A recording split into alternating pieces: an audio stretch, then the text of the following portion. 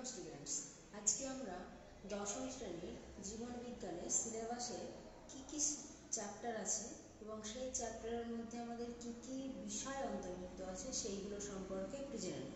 তো আমাদের সিলেবাসে মোট পাঁচটি চ্যাপ্টার আছে। তার মধ্যে প্রথম চ্যাপ্টার হলো জীবজগতের নিয়ন্ত্রণ ও সমন্বয়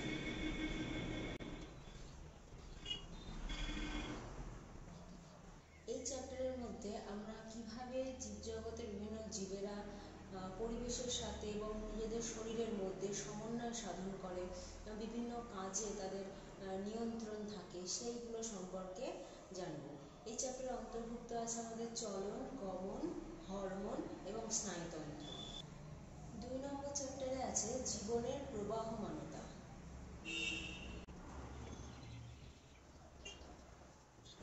জীবনের প্রবাহমানতা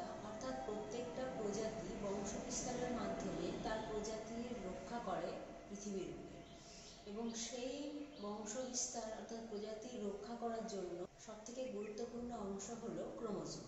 সেই ক্রোমোজোমের গঠন এবং কোষ কীভাবে বিভাজিত হয়, কয় প্রকারের কোষ বিভাজন এবং সেই প্রত্যেকটা কোষ বিভাজন প্রক্রিয়ার পদ্ধতি, সেইগুলো সম্পর্কে আমরা আলোচনা করব এই চ্যাপ্টারে এছাড়া জনন প্রক্রিয়া উদ্ভিদের এবং প্রাণীদের, বিভিন্ন রকমের জনন প্রক্রিয়া সেগুলো এই চ্যাপ্টারের অন্তর্ভুক্ত আছে। এরপরে আমরা যাব তিন নম্বর চ্যাপ্টার তিন নম্বর চ্যাপ্টার হলো বংশগতি ও কয়েকটি সাধারণ জিনগত রোগ।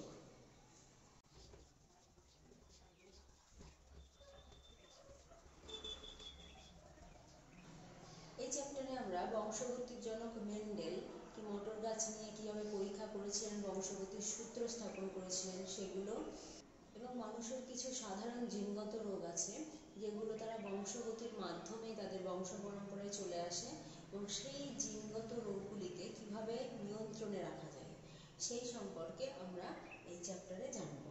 এরপরে আছে আমাদের চতুর্থ চ্যাপ্টার যার নাম হলো অভিব্যক্তি ও অভিযোজন।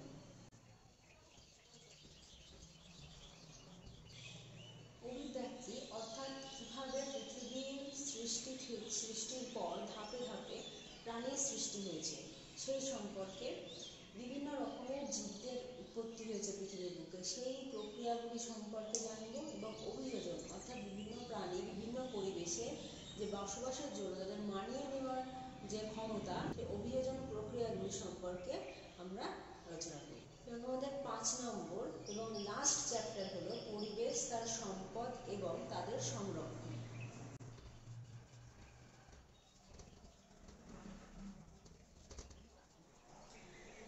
পরিবেশ তৈরি হয় পৃথিবীতে বিভিন্ন রকমের জড় পদার্থ এবং সজীব পদার্থ সব কিছুর পারস্পরিক আন্তঃক্রিয়ার মাধ্যমে। সেই পরিবেশ এবং পরিবেশে উপস্থিত সমস্ত জিনিসই পরিবেশের সম্পদ। এবং সেই সম্পদের যদি আমরা রক্ষণশীল ব্যবহার না করি, তাহলে প্রত্যেকটা সম্পদই একসময় শেষ হয়ে যাবে। তো সেই পরিবেশের সম্পদগুলিকে ব্যবহার করার সাথে সাথে আমাদের সংরক্ষণও করতে হবে। সেইগুলো, সেই সম্পর্কে আলোচনা আছে আমাদের এই চ্যাপ্টারে বিভিন্ন রকমের পদার্থ, বিভিন্ন রকমের গ্যাসীয় পদার্থ, যেমন নাইট্রোজেন, কার্বন ডাইঅক্সাইড, অক্সিজেন, এগুলো আমরা ব্যবহার করি, আবার পরিবেশে ফিরিয়ে দিই। এভাবে একটা চক্রাকার আবর্তনে প্রত্যেকটা জিনিসের ভারসাম্য রক্ষা হয়। তো আমাদের সিলেবাসে শুধুমাত্র নাইট্রোজেন চক্র সম্পর্কে আলোচনা আছে। এছাড়া আছে পরিবেশ দূষণ, বিভিন্ন পরিবেশ দূষণ জীব বৈচিত্র্য ইত্যাদি সম্পর্কে বিষয়গুলো এই চ্যাপ্টারের অন্তর্ভুক্ত আছে। তো আজকে আমরা শুধুমাত্র জীবনবিজ্ঞানের সিলেবাস সম্পর্কে আলোচনা করলাম, আমাদের সিলেবাসে কী কী বিষয়বস্তু আছে এবং পরের ক্লাস থেকে আমরা একদম প্রথম চ্যাপ্টার থেকে ডিটেলসে পড়াশোনা শুরু করব।